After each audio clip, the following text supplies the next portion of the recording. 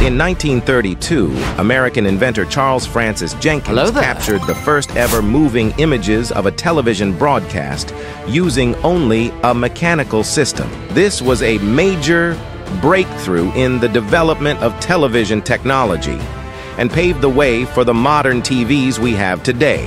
But let's not forget about the fascinating advancements of the 1920s. That's when technology was developed to add sound to movies, transforming them from silent films to talkies. And the first words ever spoken on screen? You ain't heard nothing yet. Talk about making history.